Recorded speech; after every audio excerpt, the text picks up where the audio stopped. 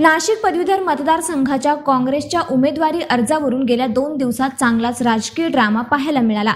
यामध्ये ऐनवेळी काँग्रेसचे अधिकृत उमेदवार असलेले सुधीर तांबे यांनी माघार घेतली तर मुलगा सत्यजित तांबे यांनी थेट अपक्ष उमेदवार म्हणून अर्ज दाखल केलाय.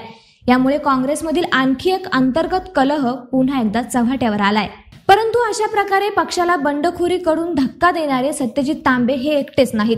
त्यांचे मामा म्हणजेच काँग्रेसचे ज्येष्ठ नेते बाळासाहेब थोरात आणि सत्यजित तांबे यांचे वडील सुधीर तांबे यांनी देखील या अगोदर काँग्रेसला अशाच प्रकारे धक्का दिला होता. काय होता हा धक्का पाहूयात सविस्तर या व्हिडिओच्या माध्यमातून. नमस्कार मी श्रुती आणि लेट्सअप मराठीमध्ये आपलं स्वागत.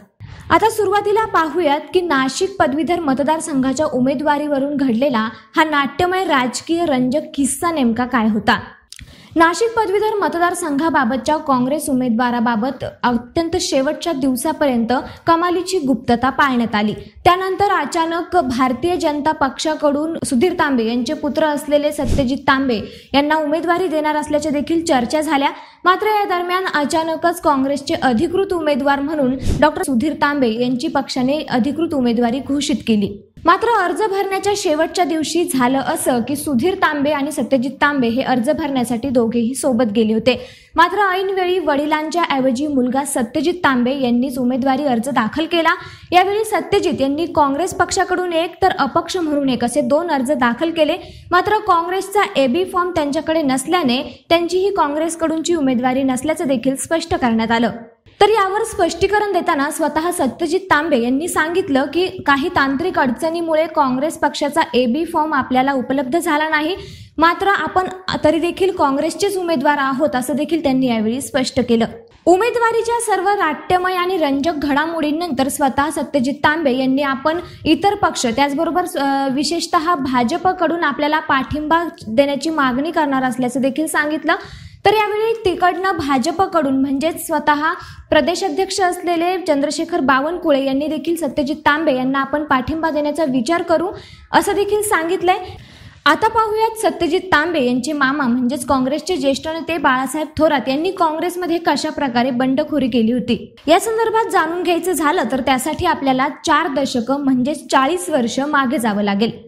एकोणावीसशे पंच्याऐंशी साली बाळासाहेब थोरात यांचे वडील म्हणजेच भाऊसाहेब थोरात आणि बी जे खताळ पाटील यांच्यामध्ये उमेदवारीसाठी संघर्ष सुरू होता. या दोघांच्या संघर्षामध्ये काँग्रेस पक्षाने या दोघांनाही उमेदवारी देण्याचं टाळलं तर यावेळी पुणे जिल्ह्यातील शकुंतला थोरात यांना पक्षाकडून उमेदवारी देण्यात आली. यावेळी भाऊसाहेब थोरात हे अपक्ष म्हणून निवडणुकीच्या रिंगणात उतरतील अशी शक्यता वर्तवली जात होती तर त्यावेळी त्यांच्या कार्यकर्त्यांची देखील अशीच इच्छा होती की भाऊसाहेब थोरातांनी अपक्ष म्हणून निवडणूक लढवावी.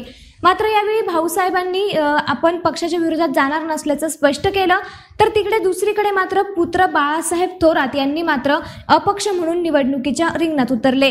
यावेळी अपक्ष म्हणून उभे असलेले बाळासाहेब थोरात या मतदारसंघातून अपक्ष म्हणून निवडून देखील आले. त्यानंतर त्यांनी पुन्हा एकदा पक्षामध्ये प्रवेश केला आणि आजपर्यंत या मतदारसंघातून ते आमदार म्हणून निवडून येत आहेत. तर सत्यजित यांचे वडील आणि बाळासाहेब थोरात यांचे मेहुणे म्हणजेच डॉक्टर सुधीर तांबे हे देखील नाशिक पदवीधर मतदारसंघामध्ये पक्षाच्या विरोधात बंड करून निवडून आले होते. दोन हजार नऊ मध्ये प्रतापदादा सोनवणे हे धुळे मतदारसंघातून विजयी झाले होते. त्यावेळी त्यांच्या जागी रिक्त झालेल्या जागेवर पोटनिवडणूक घेण्यात आली आणि या पोटनिवडणुकीमध्ये काँग्रेसने नितीन ठाकरे यांना आपला अधिकृत उमेदवार म्हणून घोषित केलं होतं. मात्र यावेळी डॉक्टर सुधीर तांबे हे काँग्रेसच्या उमेदवाराविरोधात अपक्ष म्हणून उभे होते आणि त्यांनी ही निवडणूक जिंकली सुद्धा. मात्र त्यानंतर डॉक्टर सुधीर तांबे हे पक्षामध्ये पुन्हा आले आणि त्यानंतर त्यांनी सलग दोनदा नाशिक पदवीधर मतदारसंघातून ही निवडणूक जिंकली आहे. त्यानंतर आता आपले मामा आणि आपल्या वडिलांप्रमाणेच जिल्हा परिषदेचे दोनदा सदस्य राहिलेले त्याचबरोबर युवक काँग्रेसचं अध्यक्षपद भूषवणारे सत्यजित तांबे यांचा देखील प्रवास अशाच प्रकारे बंडखोरी करत सुरू झालाय. मात्र सत्यजित तांबे यांच्या परिस्थितीमध्ये फरक एवढाच आहे की त्यांच्या वडिलांना पक्षाकडून अधिकृत उमेदवारी मिळाली होती. त्यांनी ती उमेदवारी नाकारून सत्यजित यांनी अपक्ष उमेदवारी अर्ज दाखल केलाय.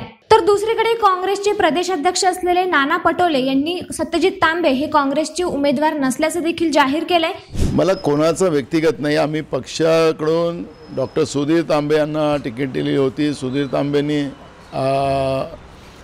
फॉर्म न भरता एक प्रकारचं पक्षासोबत फसवेगिरी केलेली आहे आणि आपल्या मुलाला अपक्ष फॉर्म भरून बी जे पीचा पाठिंबा कारण की सत्य त्यांनी जे नंतर सांगितलं की मी बी जे पीचा पाठिंबा घेणार आहे हे प्रकारचं काँग्रेसची धोकाधडी आहे. आणि त्या पद्धतीची हायकमांडला हे सगळं आम्ही कळवलेलं आहे. त्यामुळे मामानंतर भाच्याने देखील हाच बंडखोरीचा कित्ता गिरवल्यानंतर त्यांना यश मिळणार का हे पाहणं औत्सुक्याचं ठरणार आहे. त्यामुळे मंडळी नाशिक पदवीधर मतदारसंघाच्या या नाट्यमय घडामोडींनंतर आता निवडणुकीमध्ये काय होणार हे पाहणं औत्सुक्याचं ठरणार आहे. तुम्हाला या निवडणुकीबद्दल काय वाटतं कमेंट करून नक्की कळवा आणि असेच नवनवीन माहितीपूर्ण व्हिडिओ पाहण्यासाठी फॉलो करा लेट्सअप मराठीला. त्याचबरोबर लेट्सअप मराठीच्या यूट्यूब चॅनलला सबस्क्राईब करायला तेवढं विसरू नका.